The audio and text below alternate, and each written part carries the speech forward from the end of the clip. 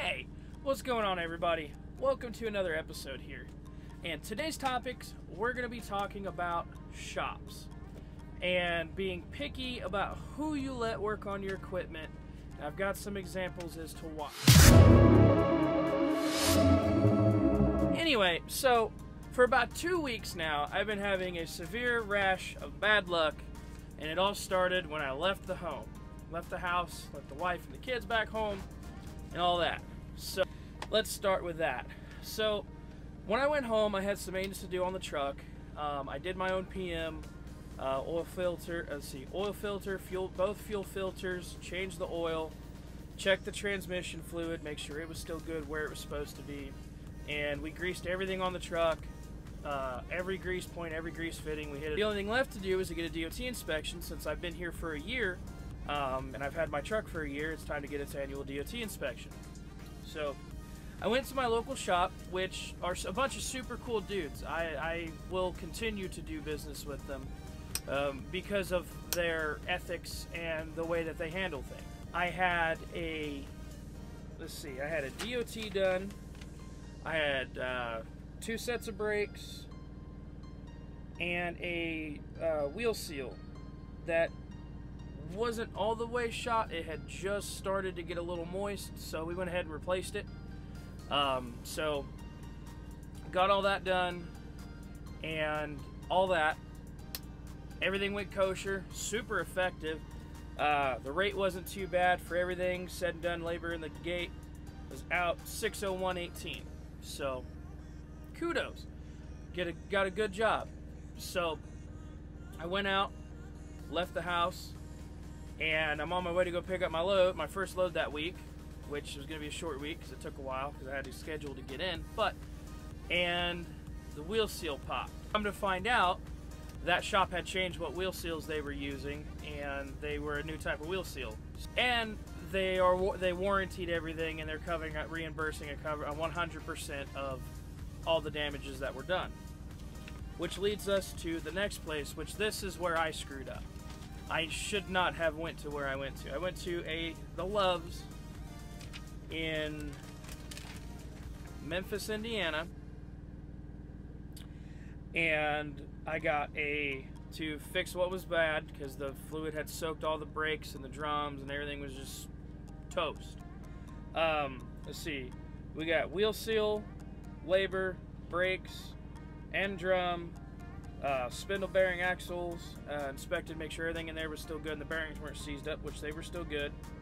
Uh, got a brake kit, a drum, drive axle gasket, and all of that. And with the parts and labor, 730.95. So, Love's warrant, or so my initial shop, they're reimbursing me for that 730.95. So we're still good there. We're kosher, still in business, everything like that. So now I have Loves who did that repair. Well, they had a new guy working, and apparently he didn't torque down because this was on the uh, 27th of April that was done. Today is the 2nd of May, and Loves went through. They did that work, and they didn't torque down axle seal properly which is the front part. The wheel seal is in the back of the hub. The wheel, the axle seal is in the front. And everything was rolling fine. Everything's been good. No issues. Everything was fine. And then, boom!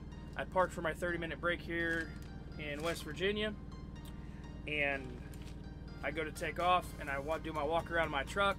Come to find out, I got a puddle of hub oil where it's just dripping and pouring out of that axle seal, where it I mean, I don't carry a torque wrench on the truck, so they, uh, but they warranty and guarantee their work. So, and here's the kicker. So, yeah, it's a warranty repair, and that's cool. I love saving money, but here's where love stiffs you, because if I would have got this into the shop and was able to get it there, um, which the closest Loves was like 50 miles away, um, I wouldn't have had to pay anything because it had been a warranty but they're charging me $599.85 to come out here and replace warranty work because they still want me to pay for the road call. That is a ripoff, y'all. be mindful about who y'all give your money to out here. I wouldn't have even bothered. I could have called somebody else and had them do it and paid full price on a road call that was closer and saved the money. But you know, Love's nobody would touch it since it's a warranty repair, and Love's was the last one in on it. So, yeah. So let's see. We had 601.18, 730.95, and another $599. What's that add up? Oh, and we had two. Uh, we had a drive tire uh, blowout on us, which doesn't make any sense. I guess the glue got hot. It's when I left that morning. It had 12:30 seconds on it, and that was another $700 on that road call. So what are we at just in two weeks here on maintenance? Thousand six hundred thirty-one dollars and ninety-three cents in two weeks in maintenance. Okay. This is why maintaining your equipment is important. These things that went bad, I mean, these these seals and the stuff I'm having issues with this axle, should never be a thing. These are they're results of just bad product, and these things happen. They're warranted, but it's just inconvenient. You know, I'm gonna get, you know, that initial. I'm gonna get that. You know, so I could take seven hundred and thirty dollars out of that. So really, I'm only nineteen hundred bucks in the hole this week. But, you know, it's stuff like this that a lot of owner operators don't talk about because some of these shops, man, they scam you. Loves, I hate doing business with Love's shops, but they're necessary evil. This is why I go to TAs and Petros.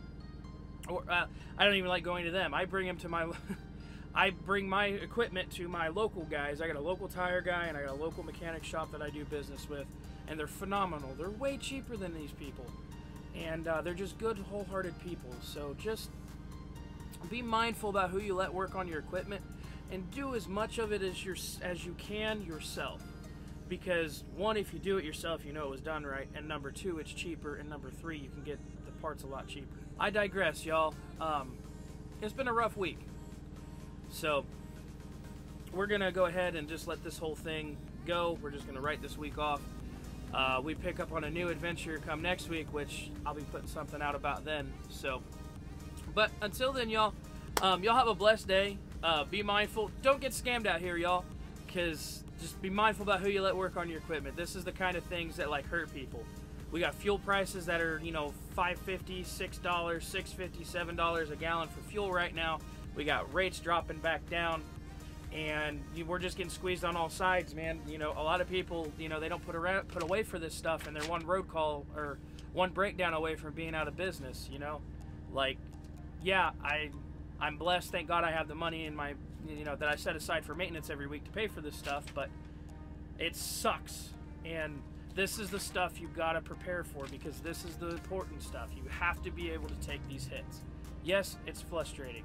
Yes, I'm mad about it. By God's grace, I'm going to survive. So, it's all going to be okay. It'll work out in the long run. So, anyway, y'all keep your heads down out there stay on the road. Don't be texting and driving. Don't, by God, don't ever drink and drive. That's bad. You know better. If you do, you know better. Stop it. But anyway, I love y'all. We'll see you next time. Y'all have a great day.